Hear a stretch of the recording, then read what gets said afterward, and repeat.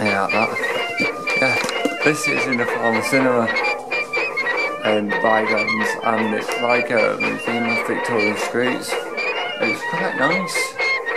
A lot to see, a lot to look at, a lot to reminisce, and I like my history, so this is perfect for me.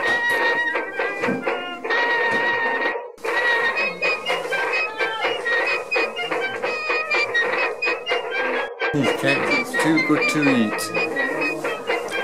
Hmm.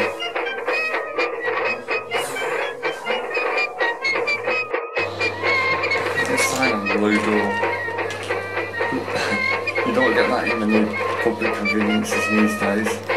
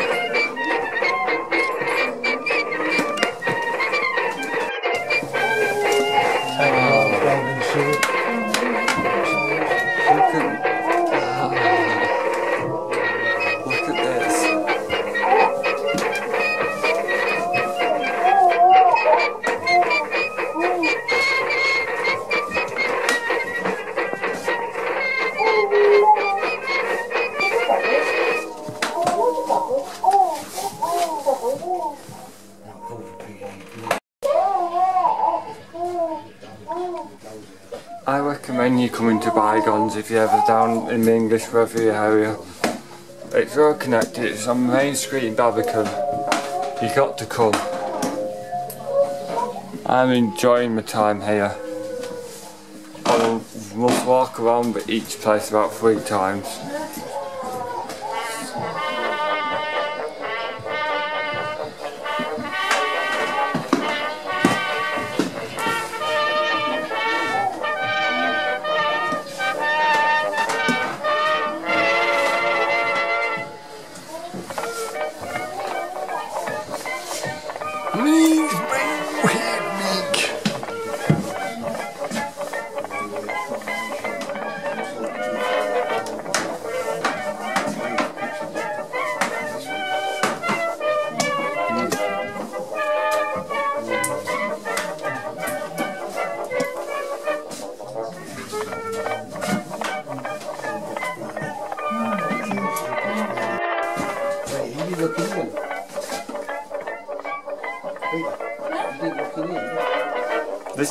My camera's a bit outdated compared to these cameras here.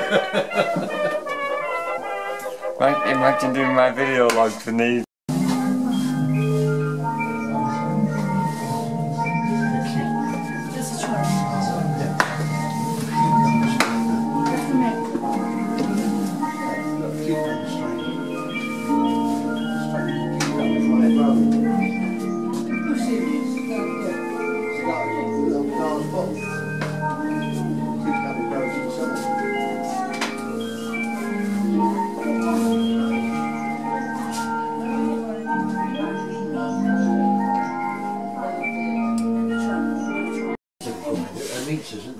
Bit gruesome.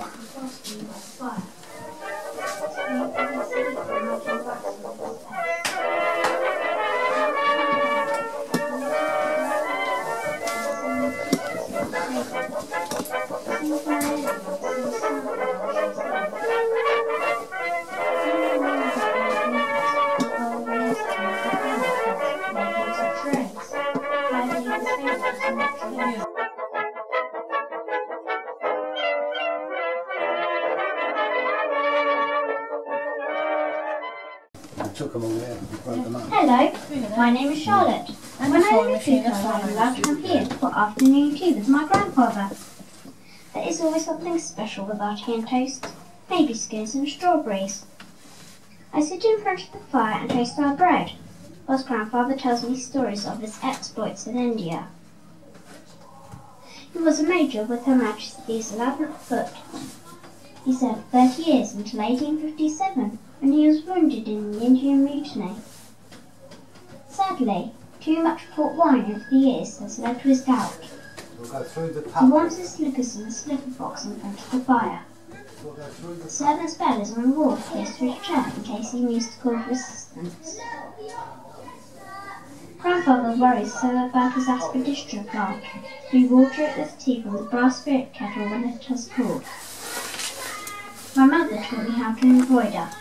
She is so nimble with her fingers. You can see some of her handiwork screen by the fire. The screen prevents the heat from melting the wax on mother's face. Now that I am older, I am permitted to do the beadwork which you can see on the tea cosy on the table. Some of my earlier work is on the sampler by Chaise Lodge.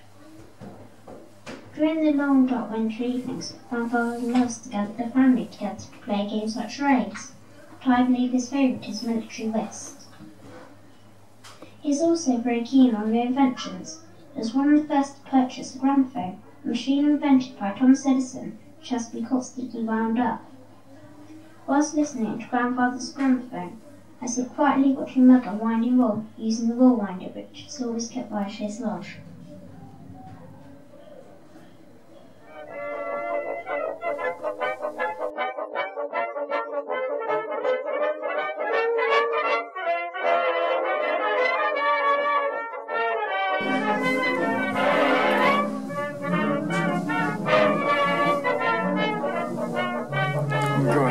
Third floor now. I enjoyed first and second floor and that letter talk and the letter display.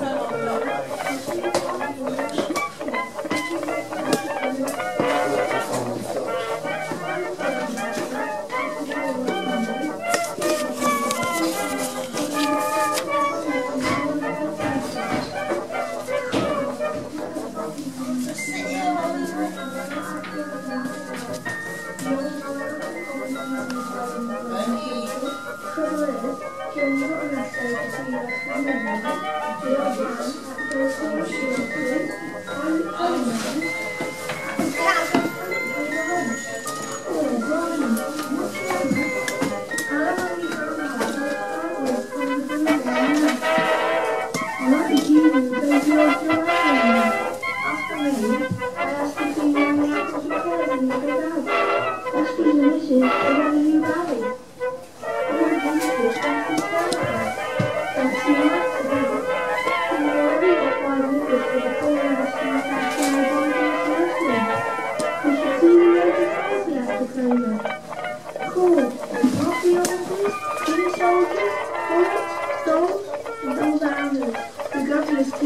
You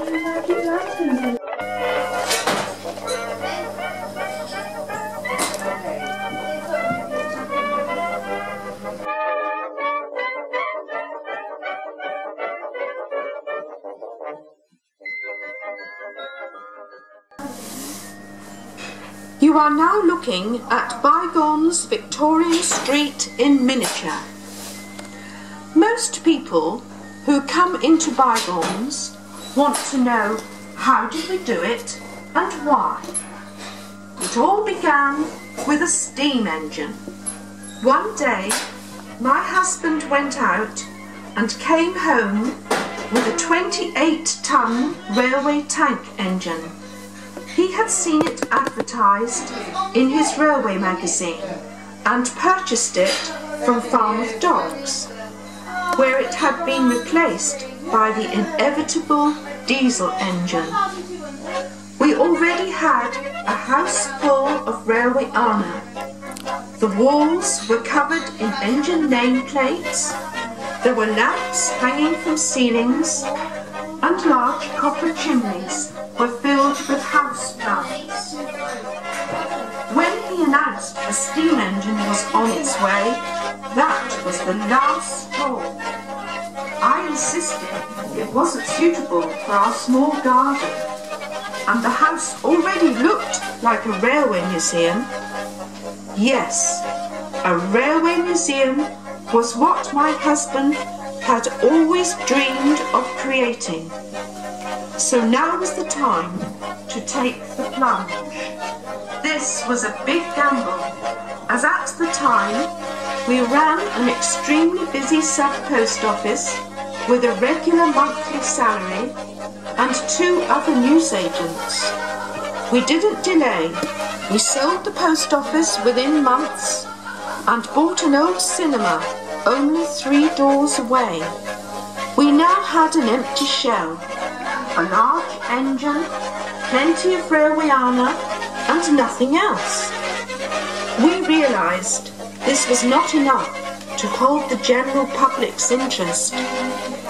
After all, everyone is not a train fanatic. We both love antiques and going to auctions in particular. So why not build an old-fashioned street with old shops and rooms and fill them with all the items from a bygone age? So this is how it all began. The next problem was who would build it, as it was impossible to contract such a project to a building firm. Over the years, an excellent mason had made many alterations to our shops, and our next door neighbour's brother was a very skilled carpenter. With a little persuasion, we fired their imaginations, and they set about the daunting task of recreating a Victorian street life-size. Now our dreams were materialising, and for nine months we all worked together day and night to plan, build and search out old windows, bricks, slates, wood and old shop contents. We travelled all over the country, going to demolition sites, architectural antique dealers and auctions.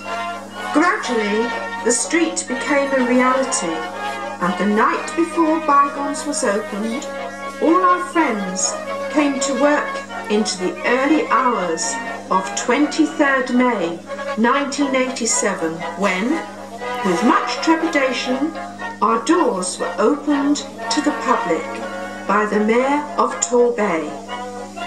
And the rest is history. Howdy Explorers, I'm just going to insert a clip in a minute Yeah. which will explain what how Bygones was created when it's opened and just a bit of insight for you if you weren't sure what Bygones is and everything and also my little bits of clips and photos what I've done today should give you a bit of insight into Bygones and give you all something to talk about but now I'm gonna carry on and looking at going to war. It's wartime. Take cover. Don't we have some fun?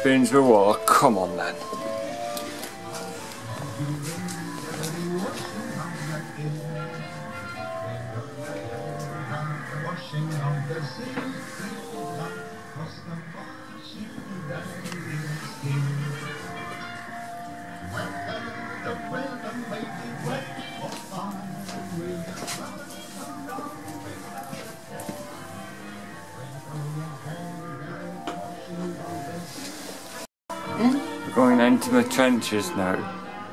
It may be dark, come on. Ooh.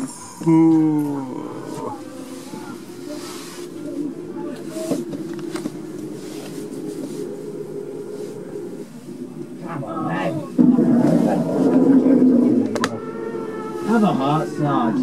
I've only just eaten breakfast at the Ritz. I'll give you breakfast at the Ritz and tea at the Savoy. Now come on, get a move on. I'm just going, Sarge. I'll see you for tea. Sarge!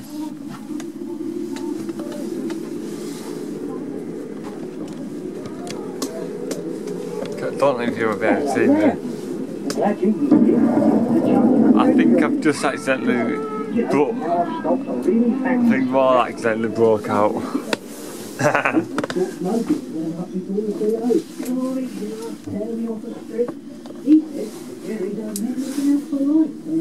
Oh, oh, that's better. We're back into civilization now, and that was quick, weren't it?